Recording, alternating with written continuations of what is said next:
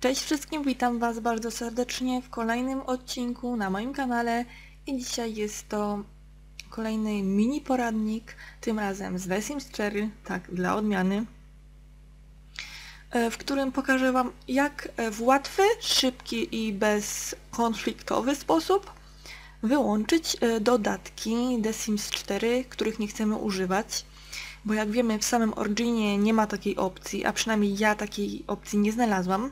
Istnieje jeszcze sposób z usuwaniem dodatków w taki sposób pojedynczy z folderów, w którym zostały one zainstalowane, ale jest to dużo bardziej skomplikowane, plus to jest już takie jakby odinstalowanie ich, czyli nie możecie ich włączyć z powrotem, tylko musicie od nowa wszystko instalować, a wiadomo, zajmuje to dużo, dużo więcej czasu.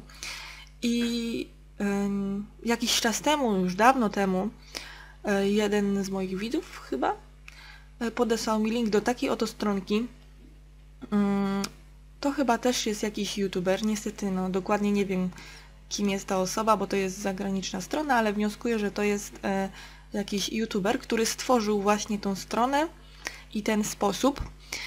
E, więc tutaj macie oczywiście wszystkie jego e, odniesienia. Jeśli jesteście zainteresowani, to e, możecie sobie go sprawdzić.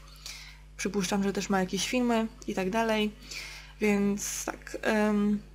W każdym razie link macie oczywiście w opisie tutaj pod moim filmem. A teraz jak to zrobić?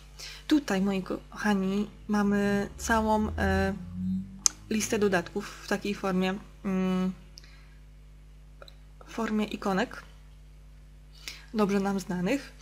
I po prostu polega to na tym, że wybieracie sobie, których dodatków nie potrzebujecie.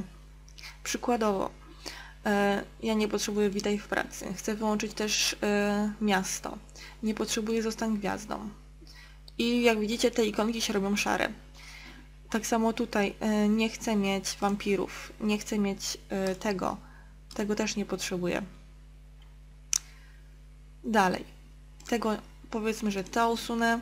Halo. O, tak właśnie. E, że usunę również to, usunę to, usunę to, e, to usunę, to również sobie usunę, to sobie usunę.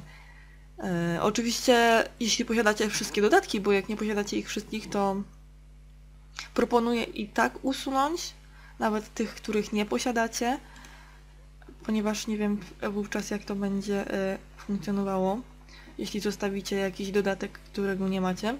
W każdym razie pozaznaczyliśmy sobie tutaj e, dużo e, dodatków, których nie chcemy i zostały nam tylko te podświetlone. I tutaj na górze wyświetlił się taki kod. I ten kod musimy skopiować. Czy to nie jest kod, to jest taki wers który będziemy musieli teraz, jak już go skopiujemy, e, wkleić sobie w Origin, a dokładnie e, wchodzicie sobie do swojej biblioteki gier, szukacie The Sims 4 i wchodzicie we właściwości gry i zaawansowane opcje uruchomienia i tu jest miejsce tutaj, gdzie wklejacie sobie ten kod. Ja tego nie będę teraz wklejać, bo już mam tutaj wklejone, jak widzicie. E, to są na, tym, na tej liście są wszystkie dodatki, które usuwamy z gry. I dajemy sobie zapisz. I jak sobie to zapiszemy, w naszej grze pozostają tylko dodatki, które tutaj zostały podświetlone.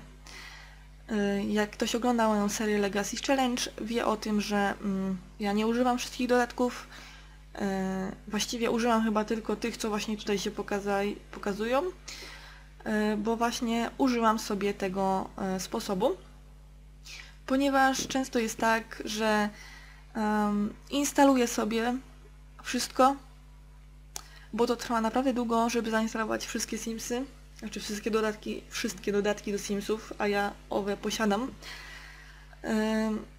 I potem jak chcę do czegoś wrócić, czy chcę zmienić sobie nawet tutaj układ, że na przykład chcę mieć witaj w pracy, e, a nie chcę mieć tego, albo e, chcę mieć jeszcze zostań gwiazdą, tutaj tak, a tak, mogę sobie to różne kombinacje.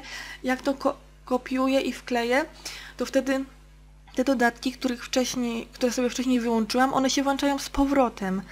Więc nie muszę nic od nowa instalować, ani pobierać. To wszystko cały czas jest na moim komputerze, tylko nie ma tego, gdy włączam w grę. grę.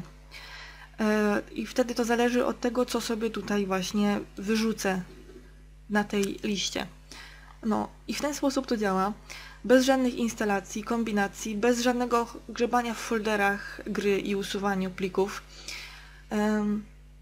Więc tak, to jest taki super sposób. Moim zdaniem to jest dla mnie wybawienie, bo samo The Sims 4 w Originie nie oferuje takiej opcji. Jak wiemy w The Sims 3 jest coś takiego, że możecie sobie wybrać dodatki, że nie musicie grać ze wszystkimi zainstalowanymi, a tutaj niestety tego nie ma, dlatego to jest naprawdę super strona, którą ja osobiście polecam i z której korzystam. Dodam jeszcze, że gram na tym od bardzo dawna i jeszcze nie wydarzyło się nic konfliktowego z grą przez to, że tego używam, więc to jest moim zdaniem bezpieczny, sprawdzony sposób, który polecam. Y, mam nadzieję, że wyjaśniłam to mniej więcej y, przejrzyście, że rozumiecie i że komuś pomogłam. No i cóż, dziękuję Wam za uwagę e, i do usłyszenia w innych odcinkach. Trzymajcie się ciepło i pa pa!